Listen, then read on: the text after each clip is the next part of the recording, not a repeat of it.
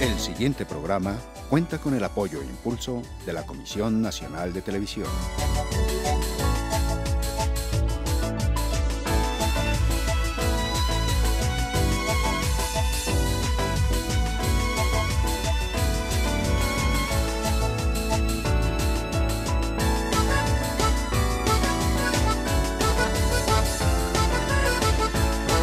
Espejo retrovisor, la historia en movimiento.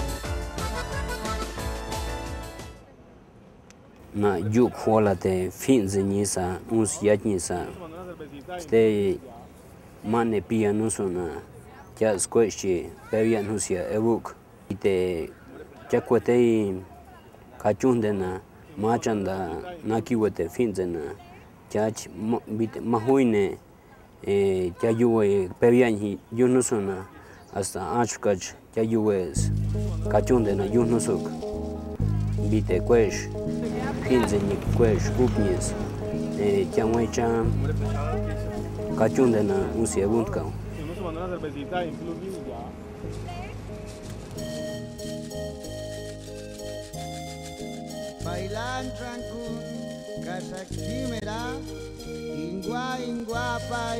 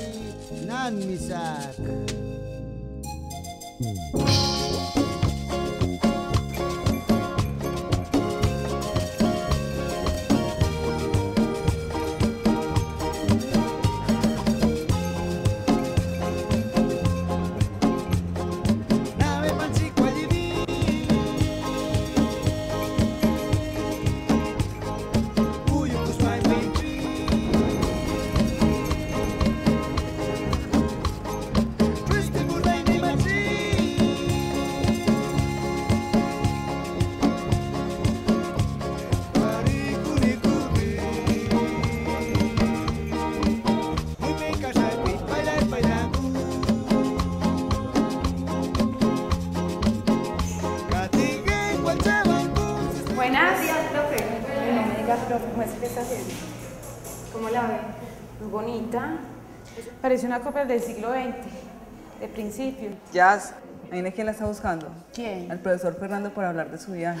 ¿Dónde está? En artes. Ah, bueno, gracias. Listo. Hola, profe. Hola Yami, ¿cómo estás? Bien, ¿y usted, profe? Ya te hice las vueltas en el Cauca. Sí, ¿qué dijeron? Ya hablé con, con una profesora en una escuela del Cauca y te están esperando. ¿Y cuándo? Mañana. Ay, ¿cómo Mañana te, te tenés que ir. ¿Tienes el libro que te di? Sí, profe, todavía no, no he terminado de leérmelo.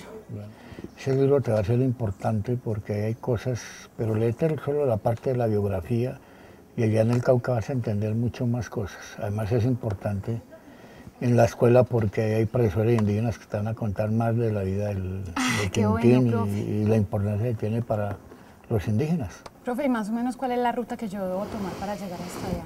Bueno, de aquí hasta Palmira, de Palmira entras por toda la zona negra hasta Santander de Quilichao.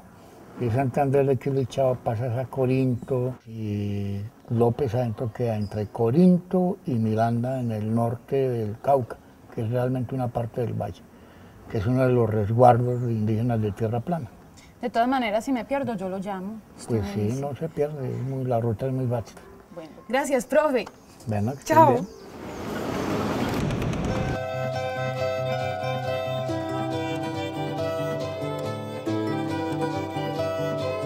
Achi mamita comare, comare, achi mamita comare, comare, achi tetico compare, compare, achi tetico compare, compare, con la punta camachazo, comare. Ay, señora, hágame un favor. Sí, Por dígame. Para Popayán. Sí, claro, todos los que van para el valle pasan por acá. Puedo abordar uno acá que va para Cali y allá en el terminal se baja y puedo abordar uno que va hasta Popayán directo. ¿A cómo la piña? A 600 pesos, muy buena, jugosita. Regáleme una, me hace el favor. Esta está bien buena. ¿Qué habría pasado si los españoles no nos hubieran conquistado? ¿Quiénes seríamos? ¿Existiría el dinero? Durante la época de la conquista los colonizadores le ofrecieron espejos a los nativos a cambio del oro que poseían. Algunos lo llaman robo, yo lo llamaría una trampa. Quintín Lame luchó por los derechos de los indígenas colombianos. Hoy, cada uno de nosotros podría ser un Quintín Lame. Mejor dicho, debería serlo. Buenas. Buenas. ¿Para dónde va? Eh, voy para el valle. Para el valle. Mira que yo voy para Popayán, pero hace rato que no pasan buses. ¿Y usted Ah, para qué parte del valle va? Voy para un resguardo indígena. ¿Para un resguardo Sí, sí, indígena? voy para...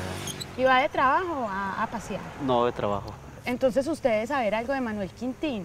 Sí, conozco la historia de este personaje importante. Eh, eh, yo creo que este personaje nos ha dejado eh, el camino abierto para seguir en nuestra lucha, en nuestra causa frente a la justicia indígena. Porque él pues quería que el Estado respetara la justicia y las leyes de nosotros, que el Estado pues que nos respeten y de esa forma nosotros seguir nuestros castigos y sanciones dentro de las comunidades indígenas. Ya viene mi bus. Mucho gusto conocerlo. Me agradó Bueno, mucho acuérdese que por allá nació Quintín. Averigüe más cosas del hombre. Bueno, muchas gracias. Hasta luego.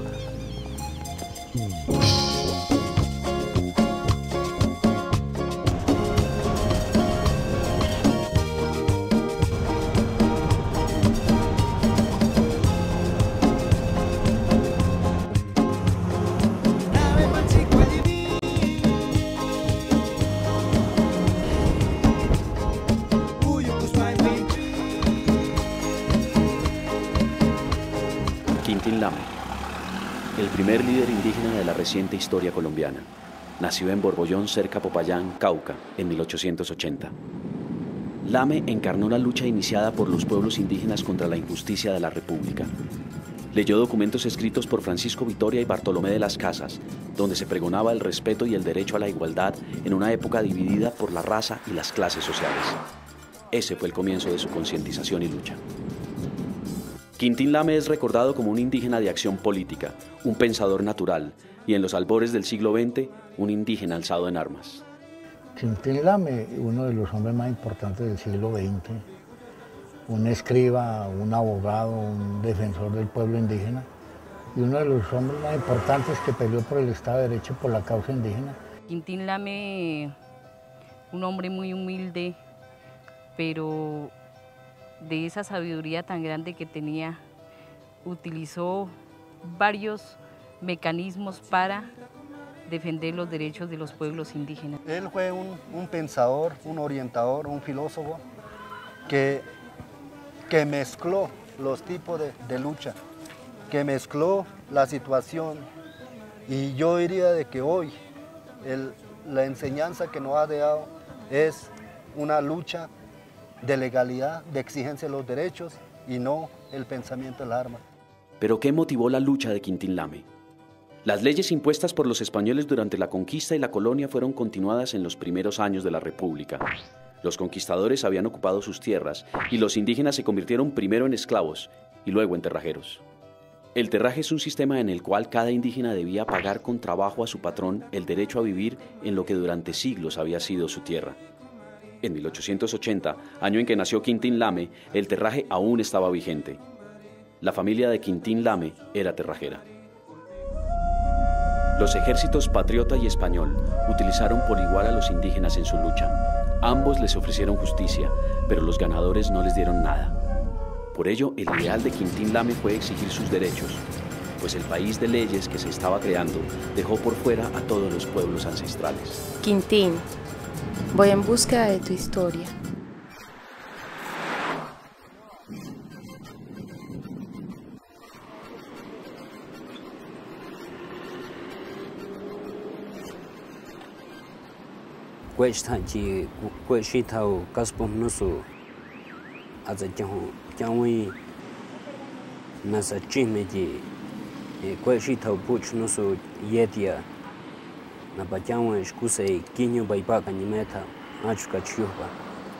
Quintín Lame tuvo una niñez dolorosa de pobreza y exclusión.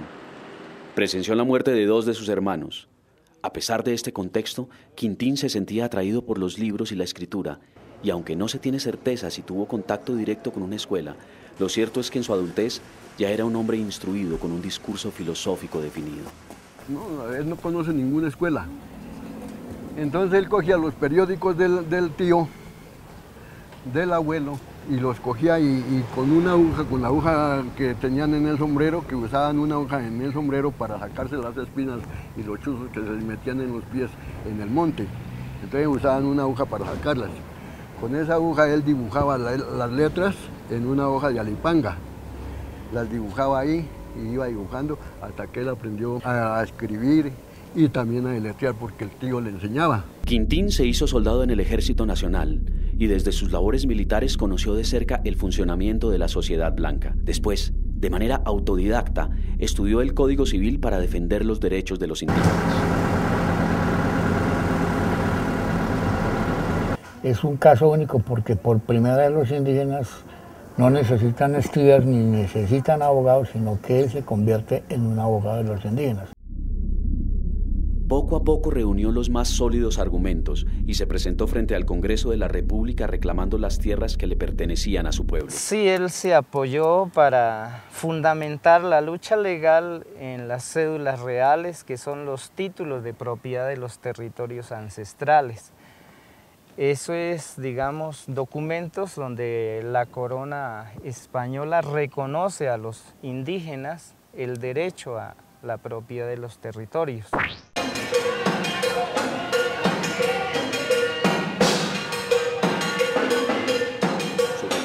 Apelaban a los títulos que por medio de la cédula real le dieran en el año 1700 el virrey a los caciques Manuel de Quilo y Ciclos y Juan Tama. La República, que no había sido capaz de reconocer los derechos de los indígenas, por lo menos debía respetar los documentos de los invasores. Profesor, estoy a punto de entrar al Cauca.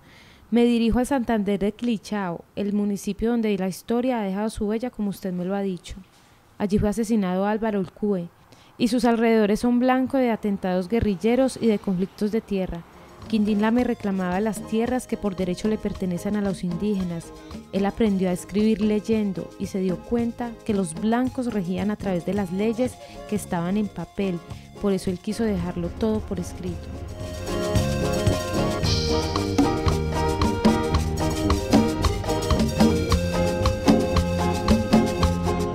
Quintín Lame trataba de entender el carácter de las leyes en la sociedad de los blancos. Las leyes existían, pero triunfaba la injusticia. Entonces aprendió que los juzgados eran inoperantes, ya que de nada servían los pleitos y los juicios. Debían organizarse para reivindicar sus derechos. Por eso, armado con machetes y palos, intentó defender a su pueblo en una época conocida como la Quintinada, que comenzó en 1914. Esta movilización duró cuatro años, hasta que Quintín Lame fue capturado por las autoridades.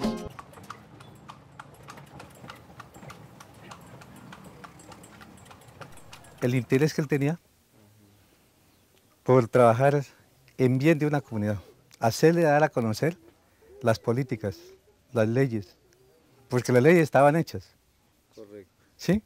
Pero desgraciadamente los blancos en entonces nos tenían nosotros menospreciados, nos tenían desubicados.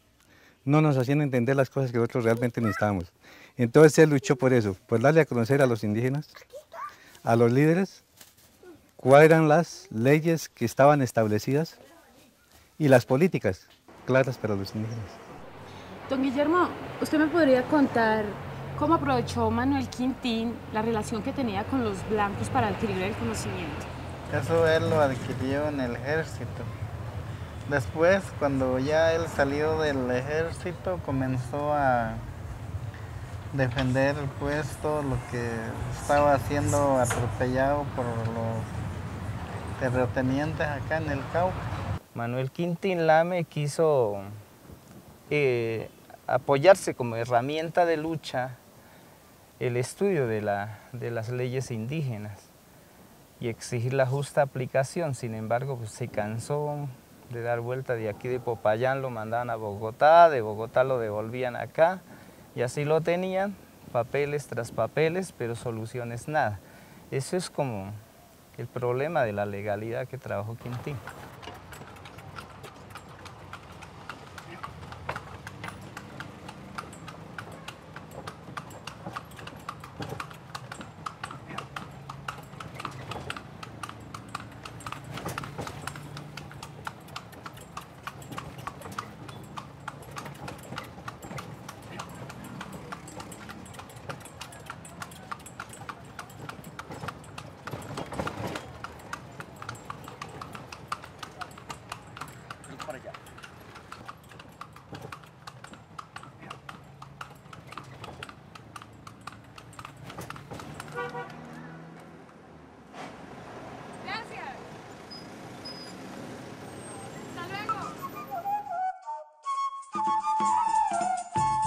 Quintín Lame Chantre vivió gran parte de su vida en Popayán.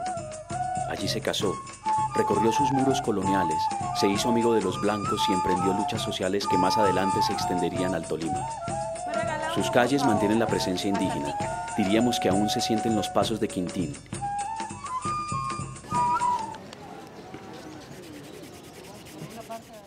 ¿Y qué tan importante es para el pueblo NASA la historia de Eh, Quintín? él es hijo de la madre tierra y por eso el trabajo lo focaliza a, a visibilizar el lenguaje de la madre tierra, como desde nuestros orígenes hay una ley para los pueblos indígenas.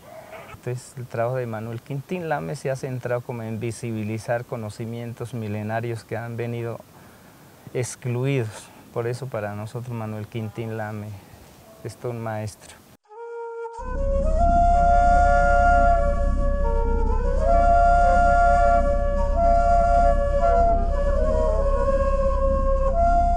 Quintín Lame sufrió una derrota militar, pero nunca aceptó la rendición política. Recopiló muchas de sus ideas en su libro Los pensamientos del indio que se educó dentro de las selvas colombianas. Diez años de su vida le llevó crear esta obra que terminó en 1939 a sus 59 años de edad. ¿Qué aspectos toca Quintín en el libro? Por primera vez un indígena está hablando a su gente sobre la necesidad de la conciencia, de cómo a través de una conciencia polarizada podría eventualmente surgir un movimiento con la fuerza que eventualmente terminó teniendo. isa same nangwa pitse pia yu hech manza manza kafika aza jahu anja yuk wala te jai pia nusu hija ach anja kish pia nyespa majach pa kachonde na yu nustu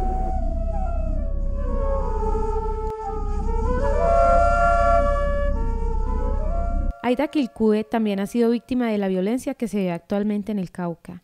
Su esposo fue asesinado en noviembre del 2008. El pueblo indígena afirma que fue un atentado del ejército contra ellos, mientras que los oficiales aceptan el crimen pero dice que fue un error. Aida representa hoy lo que en su momento fue Quintín Lame. Desde la legalidad impulsa la protección de su pueblo y los derechos fundamentales de los indígenas. Usted como mujer y como líder luchadora indígena, ¿qué siente que tiene de Manuel Quintín Lame? A ver, yo una vez lo soñé a él y, y en ese sueño él me decía que, que- estaba muy contento porque, porque había retomado ese sueño de, de- de la defensa del territorio y de los pueblos. ¿sí? Lo soñé así y de haberlo soñado yo pienso que, que- que es lo que, que me ha caracterizado es siempre la preocupación por, por hacer algo por las comunidades. Siempre estoy pensando en que hay que hacer las cosas bien. Y, y lo dijo Quintín Lame, pero lo ha dicho mi papá muchas veces.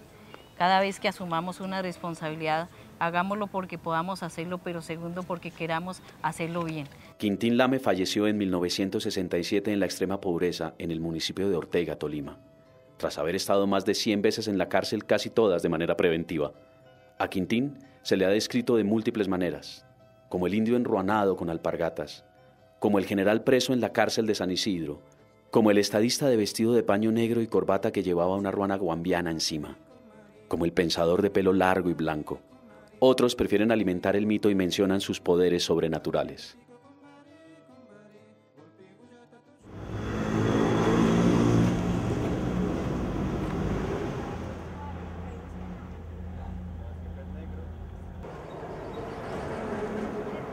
Quintín Lame se dedicó durante 20 años a crear nuevas escuelas para los indígenas.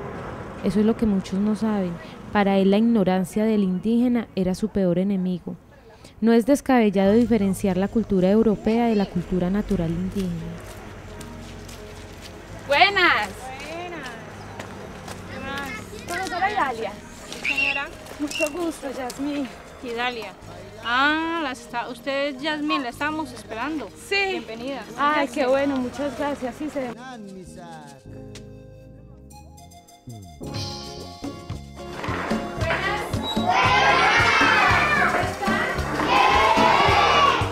Quintín nunca fue a la escuela, pero produce libros. Entonces, cómo está generando toda una, una actitud de, trabajo donde la escritura debe cumplir una función social. Por eso hablamos del papel de la educación con una alta responsabilidad, una ética de vida. Profe José Fidel, la lucha ha sido larga hasta ahora, pero ¿cuál es ese legado que le ha dejado Manuel Quintín a su pueblo, a la gente indígena, a los NASA? Esa enseñanza que Manuel Quintín Dame nos vino dejando desde el momento en que él empezó a, a trabajar en la parte política y organizativa de la comunidad. O sea que Manuel Quintín Lame para mí fue uno de los mejores profesores que pudo haber habido en esta tierra. ¿no? La lucha por el respeto de los derechos indígenas no ha concluido. El legado de Quintín Lame se mantiene vivo en Colombia. Los pueblos amerindios reivindican sus derechos, a pesar de la adversidad, los trámites estatales, los conflictos armados y la discriminación. Simplemente queremos vivir en paz, como Quintín Lame lo dijo. Quintín Lame quiso es que nosotros viviéramos en paz, que tuviéramos un territorio de donde pudiéramos producir y alimentarnos.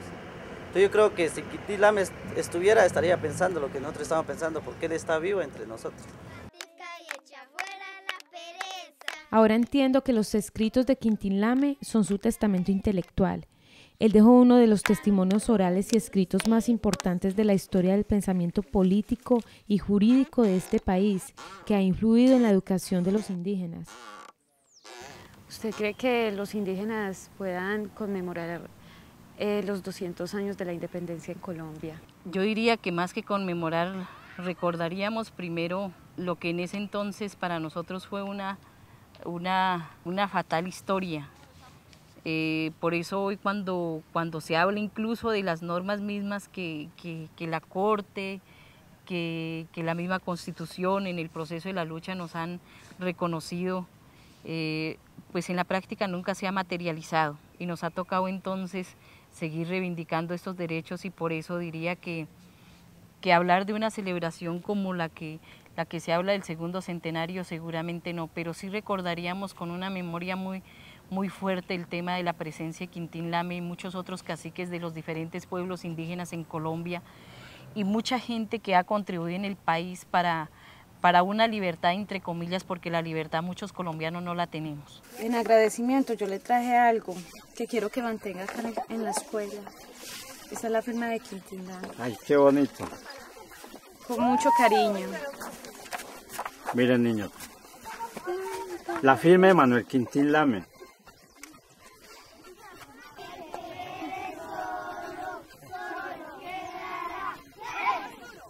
Yo creo que hoy el pensamiento de Manuel Quintila, la orientación fue luchar, exigir los derechos por medios legales y hoy yo creo que es una lección grande, real, que ha aprendido el movimiento indígena caucano.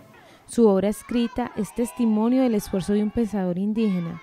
Lástima que las cosas no hayan cambiado mucho. Las leyes son justas, pero no se cumplen. Se lo digo casi con las palabras de Quintín. Profe, me quedó un poco más de lo esperado. Nos vemos pronto y gracias por todo. Jazz.